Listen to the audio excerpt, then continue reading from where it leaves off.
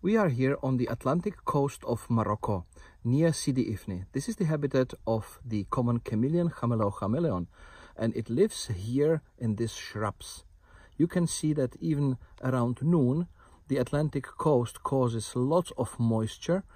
Uh, we have clouds and fog almost all day long, and this is how the chameleons get hydrated.